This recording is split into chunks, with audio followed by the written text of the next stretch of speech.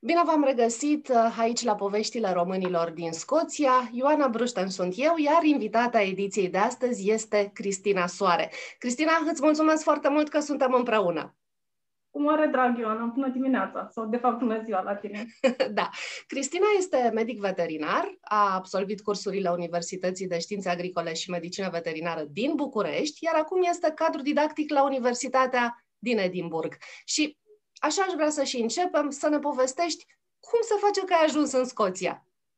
Uh, păi, în, în 2010 am, am părăsit Bucureștiul um, în căutarea de, nu știu, de altceva, ceva nou, am vrut o schimbare, am venit temporar în Marea Britanie în căutare de acest ceva nou, um, cu gândul că, desigur, mă voi întoarce în țară, poate în șase luni, poate într-un an, dar um, lucrurile s-au legat de așa natură încât um, am cum să zic, am evoluat um, profesional aici și în continuare rămân aici. După 11 ani yeah. sunt în continuare aici și na, îmi place foarte mult ce pot să zic. Ai spus Marea Britanie, a fost Scoția de la bun început, pentru că foarte mulți dintre, dintre conaționalii noștri au avut întâi o trecere prin Anglia și de-abia după aceea au ajuns în Scoția.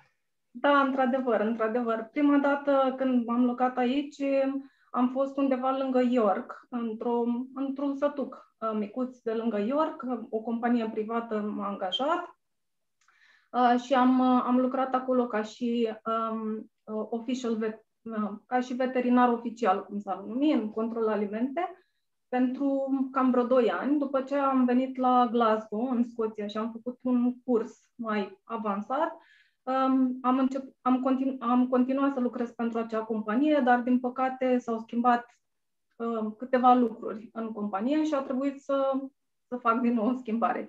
Și atunci am venit în Scoția, pentru că mi-a plăcut foarte mult când, uh, când am venit să fac uh, cursul de la Glasgow, am călătorit prin Scoția, am cunoscut câțiva oameni aici și mi-a plăcut foarte mult atmosfera, mi s-au părut um, foarte calzi ca și ca și persoane, um, au un stil mai apropiat de stilul nostru de a fi. Sunt mult mai familiari, sunt mult mai uh, primitori. Uh, bine, asta e părerea mea personală, desigur.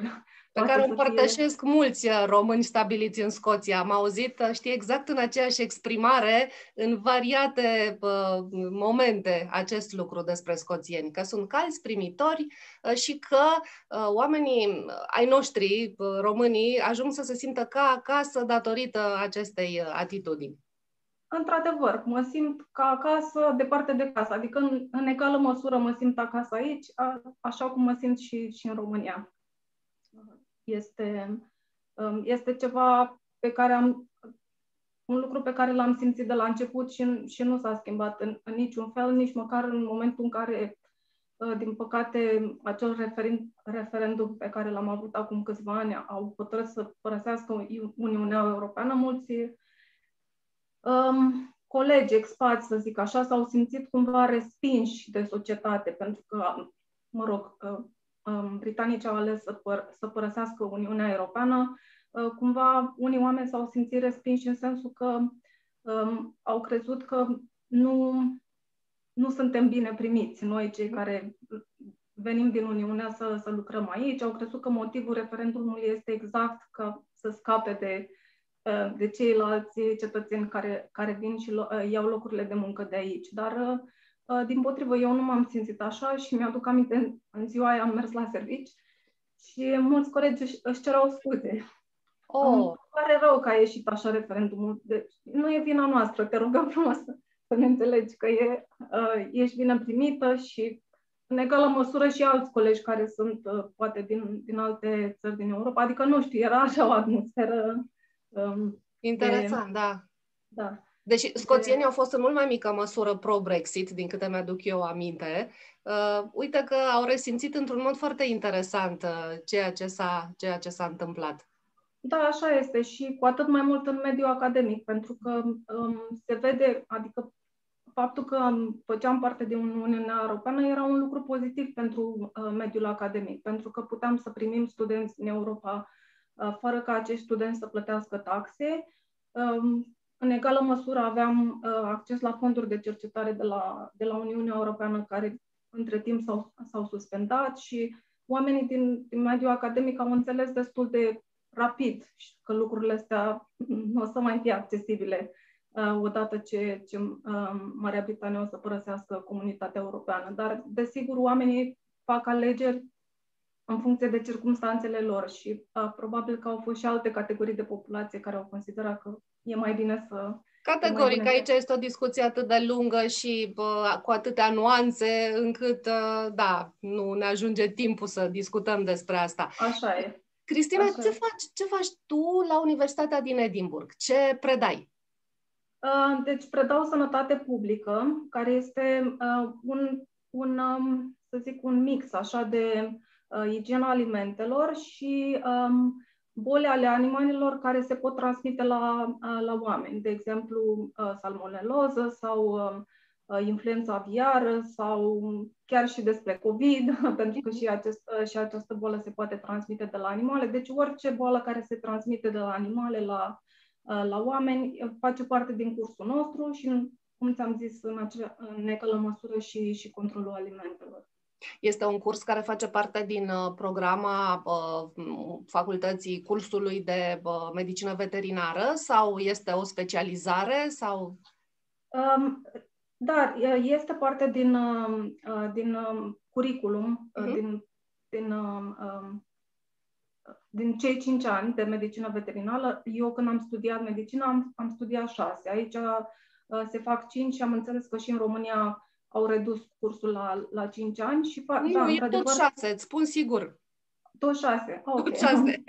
Am înțeles, da, e, e o școală lungă. Uh, da, și face parte, face parte din curriculum. Um, îl studiază în anul 4 studenții. Bine, avem un curs foarte scurt, așa, la început, doar să le dăm așa un pic de, uh, ca să, să zic așa în engleză, un, un flavor da. despre ce, în, în ce constă veterinarii public health, așa se numește. Deci, Uh, control, uh, sănătate publică uh, și după aceea studiază mai intens în anul 4, iar în anul 5 facem lucrări practice cu ei, învață partea mai, mai practică. Deci se studiază cam un an în total din, din, din cei 5 ani, un, un an stau cu, stau cu noi studenții. Am înțeles. Tu când ai știut că, că asta vrei să fii, că vrei să fii medic veterinar? Mă gândeam dacă ai fost un copil din uh, acela care aduna toți câinii și toate pisicile de pe lângă casă ca să aibă grijă de ele. Da, nu, am iubit animalele dintotdeauna și am avut o verișoară care era medic veterinar la, la țară. Deci ori de câte ori petreceam verile la bunici, mergeam cu verișoara mea care avea diferite intervenții, nu știu, să vadă niște pui, să vadă un căluț, să așa mai departe și cred că ea m-a inspirat într-un fel să, să alegă, să alegă această, această meserie. Am cochetat puțin și cu ideea de um, medicină umană, dar um, nu știu, n-am, um, am considerat că este puțin, uh, că n-am, nu știu, uh, sângele necesar să, să operez pe oameni sau să, știi, să văd partea mai dură a meseriei. Mai dură a meseriei uh, din, uh, din medicina umană și atunci am ales calea asta pe, pe medicină veterinară, mai ales că îmi plăceau foarte mult animalele.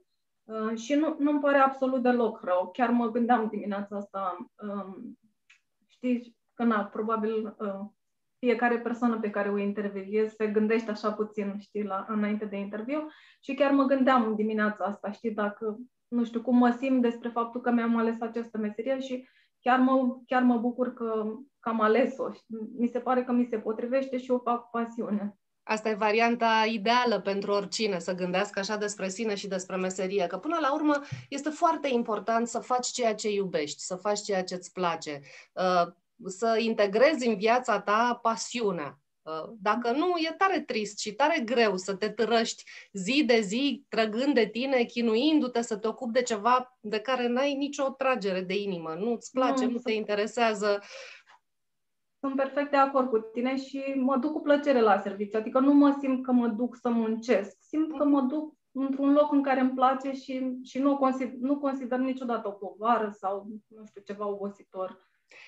Eu, uh, cât uh, am locuit un an și jumătate în uh, Edinburgh, am fost absolut fascinată de ceea ce vedeam în jurul meu, de cât de mulți oameni aveau animale de companie, în principal câini, că asta se vede pe stradă. Cu siguranță sunt și pisici, de exemplu, pe acasă, dar îi vezi cu câinii zi de zi. Aproape nu există om care să nu aibă și un câine lângă el. Și nu asta este lucrul cel mai uh, șocant, să spun așa, ci atitudinea. Cât sunt de îngrijiți, cât sunt de iubiți, cât sunt de blânzi, ceea ce dovedește felul în care au fost tratați și felul în care uh, s-au purtat oamenii cu ei.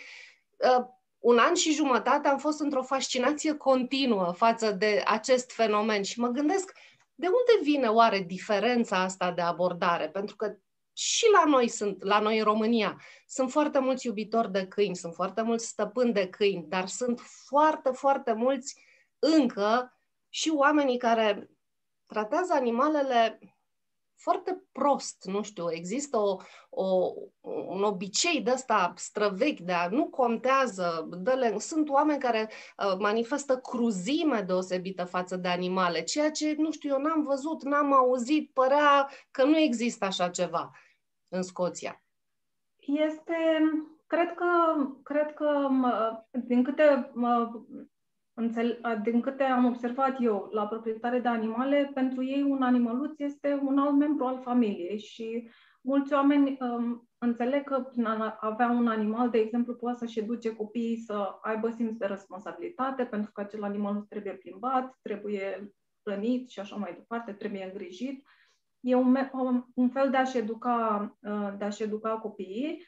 Uh, în egală măsură, persoanele mai în vârstă găsesc uh, o companie într-un animal. Deci au, au un lucru de făcut, este un, un sufletel acolo cu care să-și împărtășească viața de zi cu zi. Este un mediu de socializare pentru că pot ieși în parc și pot cunoaște alte persoane, pot să intre într-un dialog, că vorbesc despre animăluți. În egală măsură, cum ziceai tu, în România sunt foarte mulți proprietari care își, își iubesc cu pasiune animalele, dar este și, sunt și anumiți oameni care um, au sensul ăsta, au modul ăsta mai utilitar um, uh-huh. al în care dețin animale, dar în mod mai utilitar. Adică câinele este acolo să păzească curtea sau să, să te păzească pe tine, căluțul este acolo să-ți să-ți are ogorul și așa mai departe. Nu prea e, e un alt stil de a, de a avea animale și atunci, fiind mai utilitar, parcă îți permit să cumva să-l abuzezi un pic mai mult. Deși, într-adevăr, nu este în regulă să, să fie chiar așa. Poate să fie și utilitar, dar în egală măsură poate să fie și iubit. Pentru că animalul, cu cât îl iubești mai mult, cu atât îți dăruiește mai mult. Da, este ca în atâtea alte situații tot o chestiune de educație până la urmă. Să înțelegi și să înveți lucrurile astea și pe urmă să le transmiți așa din om în om și de la generație la generație și să, să se piardă pe parcurs toate, toate obiceiurile astea proaste care vin de undeva din vechime, sălbăticie, nu știu ce să spun. Așa este, trebuie să citești un pic când atunci, așa cum faci când ai un copil, de exemplu, citești o carte ca să înveți cum trebuie hrănit, cum trebuie îngrijit și așa mai departe, așa este și despre animăluțe. Sunt, poate sunt oameni care cred că fac bine unui animal, dar dacă nu ești educat în felul în care se crește un animal, atunci poți să-i faci rău fără, fără, fără știință că îi faci, îi faci rău. De exemplu, când lucram în cabinet în București, Așa, ca o anecdotă, aveam uh, o familie care își iubea foarte mult cățelușul și, din păcate, avea foarte multe probleme pentru că era o rasă mixtă între un câine foarte mic și unul mare și tot timpul avea probleme de sănătate. Într-un final a avut nevoie de intervenție chirurgicală și i-am rugat să nu îi dea de mâncare cățelului, așa ca să poată să prindă anestezia și așa mai departe. Și dimineața când au venit la cabinet, toată familia, 10 persoane acolo cu un cățel mic, I-am întrebat, deci ați dat de mâncare? Nu, nu, nu i-am dat de mâncare. Ceva de băut a băut? Da, niște bere. L-au anesteziat ei întâi. Da, da, s-au gândit să fie relaxat, să nu se streseze. Oh, ok, am înțeles. Da. Știi, mă gândeam, uh, iarăși apropo de, de tradiție, că mm, educația la un moment dat devine tradiție și este minunat. Uh, mi-am adus aminte de adăpostul pentru câini și pisici din Edinburgh, cel din Portobello, nu știu dacă mai sunt da, și altele, da, da. care este fabulos. Fabulos, am scris la un moment dat pe blogul meu uh, despre el, pentru că am fost foarte impresionată și am reținut că acolo undeva din anii 1880 funcționează lucrurile. Deci uite cât de departe în urmă se întindă, se întindă aceste, aceste lucruri care țin de educație, de grijă, de pă, dorința de a găsi un cămin animalelor, de a le îngriji, de a fi uman cu ele. Da, într-adevăr fac, fac lucruri extraordinare oamenii de la, de la Dăpostul din Portobello și... Și sunt voluntari pe... cu toții, din câte știu. Da, da, da. Și studenții noștri se duc acolo voluntari să, să-i ajute, mai ales în perioada de iarnă, când sunt foarte mulți oameni um, ai străzii care accesează um, acel adăpost. Um, studenții merg acolo și fac practică, ajută voluntar în, în egală măsură. Da, funcționează bine pentru toată lumea. Da, minunat. Asta sunt foarte multe lucruri care pot fi luate ca exemplu și multiplicate și la alții. Chiar sunt în acest domeniu multe. Studenți sunt mulți, este o um, afluență la universitate, la, la cursul de medicină veterinară. Mă gândesc că la atmosfera generală care este uh, așa în rândul iubitorilor de animale, ar trebui să fie mare concurență și, și la universitate. Este, este și concurență. Nu avem foarte mulți studenți, adică um, dacă fac așa comparația cu câți studenți eram noi în, an, în, în uh, facultatea din București, cu câți studenți sunt aici, ținând cont că și țara e puțin mai mare aici, adică puțin mai mult, uh, nu sunt decât 160, cam așa, de studenți pe an și nu toți sunt scoțieni. Avem, să zic, o proporție de cam 30% din, uh, din studenți sunt scoțieni sau mhm. britanici. Mm-hmm Restul sunt uh, studenți internaționali, deci vin de, de, peste tot. de peste tot din lume. Și îmi place foarte mult lucrul ăsta, pentru că e o, cum să zic, e, e foarte, e o, nu știu, un, uh, un mediu foarte uh, bogat uh, din punct de vedere cultural. Sunt studenți din Asia, studenți din Canada, din America și așa mai departe și e, e o atmosferă foarte inclusiv, așa, pentru, pentru faptul că sunt, uh, sunt studenți de, de, de peste tot, sunt, e, se tratează totul ca, ca într-o mare fam, uh, familie. Și revenind la întrebarea ta cu concurența, într-adevăr, este, este o concurență acerbă să, să obții un, un loc la, medic, uh, la facultatea de medicină veterinară, deci, practic, trebuie să fii uh, cumva determinat cam de pe la vârsta de 14-15 ani că vrei să faci această carieră astfel încât să poți să-ți construiești un dosărel, uh-huh. să, să poți să, să intri la facultatea de medicină veterinară. Deci trebuie să ai note foarte bune la școală, asta nu se, um, bineînțeles, se ia în calcul, uh, după care trebuie să facă uh, un anumit, um, trebuie să aibă un, um, un pic de practică, pentru că se consideră că trebuie să înțelegi așa un pic despre ce e vorba în meserie, ca să știi la la ce te... Ceea ce este foarte logic, e o idee foarte la, bună. La ce te angajezi, da. Și um, după aceea dau un interviu. Deci nu este un examen, pur și simplu scris, uh, cum am dat eu, de exemplu, când am intrat la, la facultate, dar um, este un interviu în care um, sunt, de exemplu, întrebați despre această experiență pe care au făcut-o în practică. Uh, după aceea li se dă tot felul de scenarii, cam cum te-ai ocupat tu de... Mhm. Bine, sunt foarte, sunt făcute simplistic, nu, nu întreabă lucruri complicate, cum, de exemplu, cum ai trata animalul, dar așa, ca și situație, ca să vadă puțin... Ca reacție. Și, da, și puțin elementul emoțional al omului, dacă într-adevăr le pasă sau dacă înțeleg puțin și, și complexitatea naturii umane, pentru că uh, în medicină veterinară tratezi animalul, dar trebuie să ai puțin, cum să zic, un pic de experiență și cu, cu omul, că în egală măsură cu omul interacționezi și, și atunci trebuie să înțelegi un pic și, și elementul ăsta. Da, și din asta, în asta constă, constă interviul. Și după aceea li se, dacă sunt, um, um dacă trec de partea asta cu interviul și cu, um, cu dosărelul, atunci li se oferă un, un loc, dacă nu, mai, mai încearcă și la alte școli. Uh, facultatea din Edinburgh este foarte bine cotată, nu numai aici în UK, dar este foarte bine cotată și în lume. Și dacă nu reușesc aici, poate să încerce și la, da. la alte facultăți. Da. Există uh, programe de colaborare, de exemplu, interuniversitare? Mă gândesc dacă există vreun soi de uh, posibilități de schimb de studenți cu Universitatea din România, de exemplu, sau din alte uh, țări europene.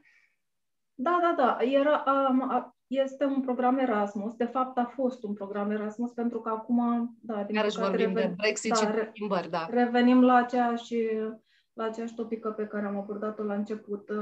Dar sunt și alte, sunt și alte programe și facem, într-adevăr, schimburi cu alți studenți. De exemplu, este un schimb cu Universitatea din Colorado, din, din SUA, mai avem niște schimburi cu facultatea din, cu facultate din Franța, cred că din Leon, nu mai aduc exact aminte, cu niște studenți norvegieni, în sensul că studenții noștri se duc acolo și petrec între șase săptămâni, uh, câteodată chiar un semestru, și studenților după aceea vin aici și se ajută între ei. Adică uh, când studenții noștri se duc acolo, sunt găzduiți de studenți Uh, studenții din țara respectivă și, în egală măsură, ei când vin aici sunt găzduiți de studenții noștri și se leagă așa, cumva, și o prietenie între, Am înțeles. Între Ar fi foarte frumos să existe și cu România astfel de da, am, cred că acum 2 sau 3 ani au venit niște studenți de la Cluj foarte, foarte simpatici și au stat uh, două săptămâni în campus și uh, o zi au petrecut-o și cu, și cu mine. Uh-huh.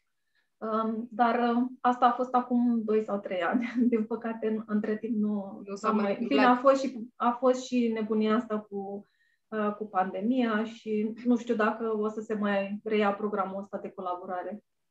Cu toții sperăm să se reia toate lucrurile cărora li s-a pus, sper, doar punct și virgulă odată cu pandemia, nu punct definitiv și că vom reveni la cele pe care le făceam și ne făceau plăcere și le iubeam și aveam nevoie de ele în viața noastră înainte. Da, și eu sunt destul de optimistă că odată ce învățăm așa puțin cum să, să ne ferim de, de virusul ăsta și că o să se mai um, um se extindă și programul de vaccinare, sper că o să reușim cumva să, să revenim la un oarește normal. Nu cred că o să mai fim la nivelul la care eram înainte, adică tot o să fie niște reguli, dar probabil nu atât de stricte. Cum, cum să fie acum. reguli, dar nu restricții, că exact. e tot și altceva. Da, exact, exact. Spune-mi, Cristina, te simți în societatea scoțiană, în mediul academic, din câte am mai povestit până acum în acest proiect, este o atmosferă foarte plăcută, tocmai din cauza multiculturalității. Uh, sunt oamenii care vin de peste tot din lume și înțeleg că este o atmosferă destinsă, deschisă, uh, caldă, de colaborare în universități, în general. Dar viața de dincolo de uh, porțile universității. Cum te simți în societatea scoțiană? Simți că uh, faci parte din ea, că uh, ești acolo acasă sau a doua casă, ți-ai găsit locul, uh, e bine, te, te simți asimilată? Da, da, da. Uh, răspunsul într-un cuvânt este, este da. Deci nu pot să zic că uh, lucrurile pe care le făceam acasă nu pot să le fac aici. Am destul de mulți prieteni scoțieni, merg la ei acasă, invit la mine, bine, în vremuri normale, acum nu se poate să ne vedem în casă, doar afară, dar da, merg, nu știu, se obișnuiește foarte mult să mănânci la cineva și inviți la tine la, la masă, ei te invită la ei sau când sunt onomastici, ieșim, ne vedem, povestim și așa mai departe și inclusiv cu, cu colegi de la școală. Asta îmi place foarte mult, că nu suntem strict profesional. Adică se, se, bine, nu cu toată lumea, dar se creează și relații interpersonale. Uh-huh. Practic, lucrând împreună, mai, mai legi o prietenie, te mai vezi și, uh, și în afara serviciului. Da, și mă simt foarte bine primită, mă simt uh, inclusă, nu am avut niciodată senzația că există sentimentul ăsta de rasism, de excludere și așa mai departe. Nu, nu am perceput-o uh, niciodată. Poate în puține ocazii, um, când mă aflam în uh, Marea Britanie, de exemplu, m-a întrebat o colegă, um, când am venit atunci prima dată la, la companie, m-a întrebat, dar de ce ai venit aici? Nu sunt, uh, nu sunt locuri de muncă în țara ta? Și am zis, bă da, sunt locuri de muncă în țara mea, dar mi-aș dori să, să încerc și altceva. E o meserie pe care pot să o practic în, altă, în orice altă țară și mi-aș dori să, să o încerc și aici. Și s-a uitat așa la mine, na, Nu deci, știu, la... dar mi, mi, s-a părut puțin, mi s-a părut puțin deplasată întrebarea, dar a, a fost singura experiență pe care am avut-o și asta a fost uh, de mult și nu, nu, aici, nu aici în Scoția. Dar aici nu am avut niciodată senzația asta de, de a fi exclusă sau din potrivă, din potrivă. Ei, ai spus despre ei, despre scoțieni, că sunt primitori, că sunt calzi, că sunt prietenoși. Uh, societatea, cum ai uh, defini-o, așa, în principi, atmosfera societății scoțiene? Aș putea să zic că, nu știu, sunt foarte organizați. Uh-huh. Din punct de vedere birocratic, din punct de vedere profesional, din punct de vedere familial și așa mai departe, totul este planificat. De exemplu, cu șase luni înainte, o familie știe că pleacă în concediu. Nu se hotărăște cu două oh. săptămâni, gata, plecăm. Totul este plănuit dinainte, mergem așa, avem bilete rezervate și așa mai departe. În egală măsură, când te duci la primărie, știi exact la ce birou, știi adresa de e-mail, poți să-ți faci programa. Nu știu, este, asta e cuvântul de să zic, la care m-am gândit prima dată când mi-ai pus întrebarea, că totul este așa organizat. Ceea ce duce la mai multă ordine până la urmă. Da, pentru că stă o anumită structură și știi la ce să te aștepți, nu prea ești luat prin surprindere sau dacă nu merg lucrurile neapărat, există un sistem prin care poți să-ți rezolvi problema fără să ai așa foarte multă bătaie de cap sau foarte mult stres. Că bineînțeles să mai întâmplă lucruri neașteptate, dar, dar există așa o, destul de repede poți să găsești o soluție. Să, uite, uite, asta ar, ar putea să fie explicația pentru atitudinea generală care mi așa mi s-a părut că este a oamenilor în Edimburg, unde am trăit eu, sunt relaxați, nu sunt încrâncenați deloc. Poate faptul că știu că se rezolvă problemele sau că lucrurile merg în mod natural, firesc, fără foarte multe piedici, uh, poate că explică asta, pentru că, într-adevăr, e o atmosferă generală. Oamenii par relaxați, e o normalitate care în multe alte părți lipsește. Așa este, Ioana. Um, Cred că asta mă face să mă gândesc din nou la întrebarea ta cu animăluțele. Știi? Cred că animăluțele sunt bine tratate pentru că oamenii își fac timp pentru ele aici și oamenii își fac timp pentru ei. Nu neapărat că societatea este altfel, că nu ai atât de mult de, de mult de muncit, pentru că este mult de muncit și aici. Bine, depinde ce, ce profesie te ales, dar își fac timp pentru ei, își fac timp să iasă la o plimbare în weekend, să petreacă timp cu familia, își fac timp să iasă să meargă pe bicicletă, să alerge dimineața înainte de servicii. Uh-huh. Lucrurile astea te fac să te simți mai bine și mai calm, din punctul meu de vedere. Și poate că de asta este un pic mai relaxată societatea, dar în egală măsură ai și un nivel de trai, chiar dacă, poate chiar dacă ți-ai ales o meserie de bază, nu știu, ești pur și simplu um, o persoană care lucrează la o fabricuță. Nivelul de trai este conceput în, a, în așa măsură încât uh, poți să se, să-ți permiți esențialul. Și asta, cum să zic, relaxează omul destul de mult. Adică dacă nu ai presiunea aia la sfârșit de lună că da. trebuie să-ți plătești facturile, cred că și asta contribuie. Cu siguranță. Destul de mult, știi, la, la felul în care reacționează oamenii. Asta este încă un, mă rog, ar fi încă un model bun de urmat tocmai uh, toate aceste mici lucruri de, de organizare și de strategie care fac ca viața să fie mai bună de trăit, mai relaxată, mai, mai liniștită pentru toată da. lumea. Da, dar oricum, uh, oricât de multe, nu știu, vicisitudini aruncă viața la tine, cred că, cred că ăsta e unul dintre secrete, să încerci să, să-ți faci timp liber, să să te relaxezi, să citești o carte, să, nu știu, să mergi la o plimbare, să vezi un loc în natură frumos. Să echilibrezi. timp. Da, da, ca să, ca să ai energia aia să, să poți să mergi mai, de, mai departe. Ceea ce la noi se spune uh, foarte des, uh, succint, să-ți încarci bateriile. E exact, expresia. exact. Exact, exact. Cristina, așa cum întrebarea clasică pe care am pus-o, cred că tuturor uh, în aceste interviuri, uh, dacă s-a trecut prin gând sau există un germene de idee acolo undeva, că ai putea, la un moment dat, să te întorci în România, după experiența scoțiană. Ioana, nu știu, niciodată nu zici niciodată. Depinde, nu știu, depinde de ce oportunități se, se arată în viitor. Um, nu zic că mi-ar displăcea, dar deocamdată nu am planuri. Adică mă gândesc poate atunci când mă retrag din viața profesională, pentru că deja, nu știu, mi-am construit puțin așa o carieră aici și cred că dacă m-aș întoarce în, în România, aș, cumva aș lua-o de la zero. Ar trebui să fac ceva, ceva nou.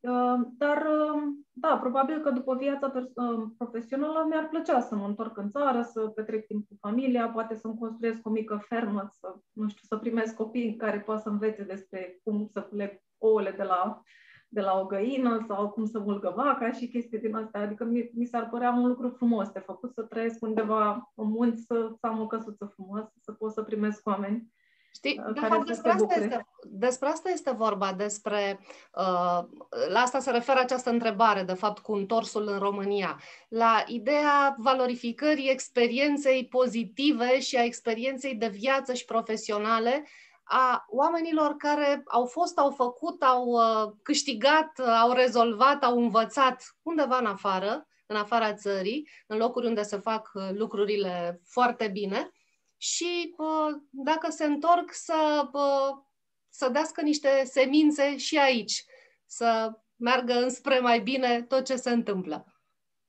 Da, nu, nu știu dacă aș avea puterea să schimb dramatic ceva, dar acolo în, în jurul tău, da, cred că... Cred, cred că, că schimba, aș... schimbarea poate să înceapă cu fiecare dintre noi cu lucruri mici, că dramatic nu știu dacă suntem capabili uh, niciunul dintre noi uh, ca singularitate, ca persoană, să facem ceva. Doar așa, da, de spuneam, plantăm niște semințe.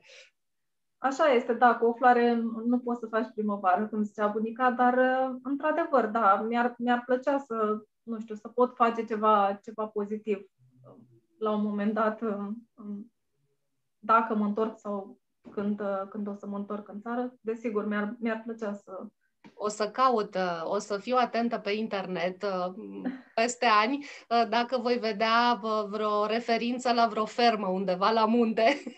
Te invit, ești prima invitată când deschidem ferma. Eu o să fiu prima, prima ba, invitată. Vorbim despre ea și o să spunem, uite, noi de mult pomenisem această idee. Nu, chiar ar fi minunat. Am văzut, acum dincolo de glumă, am văzut așa ceva în Austria, Uh, organizate pe acest uh, model uh, pentru copii, pe traseele turistice făcute pentru familii, din loc în loc, opriri unde copiii să învețe nu pe animale, erau un soi de dispozitive, un soi de, nu, jucării.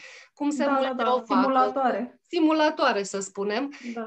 Și ni s-a părut la vremea aceea foarte interesant să ții copilul uh, atent, să aibă o preocupare, uh, că altfel se plictisește poate doar să urce muntele, să facă traseu alături de părinți. Uh, așa, uite, mai învață despre o văcuță, despre niște, știu și eu, pui, tot felul de alte animale. Da, da, și dacă sunt, nu știu, copii care poate din generație în generație, știi, bunicii, părinții și așa mai departe au trăit la oraș și nu au avut acces la animale de astea care, care produc, atunci, da, poate că nu, nu înțeleg de unde le vine, nu știu, produsul pe masă, știi? Adică o să înțeleagă că vine de la supermarket. Evident. Adică la măsură e, e, e frumos Evident, să, să de la bază, știi? Tot ca o anecdotă, știu un băiețel exact cum spui tu, crescut de generații pe asfalt, la oraș, cum se spune, și la un moment dat în clasa întâi, cred, când uh, într-una din lecții se pomenea termenul balegă, Uh, doamna învățătoare la vremea respectivă l-a întrebat ce înseamnă cuvântul respectiv. Cum habar n-avea, nu auzise, nu văzuse în viața lui, s-a gândit el în mintea lui de șase ani sau câți avea atunci că cuvântul seamănă cu balenă, deci trebuie să fie un fel de pește. și asta a și spus. Știi? Da, de copii care nu au nicio legătură, nicio legătură cu viața reală, cu animalele și cu ce se întâmplă. Așa că ar fi foarte bine. Da, cine știe, sper, sper, sper. Uh, eu îți mulțumesc foarte mult, îți doresc mult succes cu ceea ce faci uh, acolo la Edimburg. Uh, mi-ar plăcea să se întâmple în realitate ceea ce ai pomenit și să ne revedem aici, în România, într-o fermă așa cum te-ai gândit tu că ai putea să, să o organizezi. dar până atunci să-ți iasă totul acolo exact așa cum îți dorești. Mulțumesc din suflet, Ivana, și pentru invitație și mă bucur că, că am avut ocazia să, să stăm de vorbă.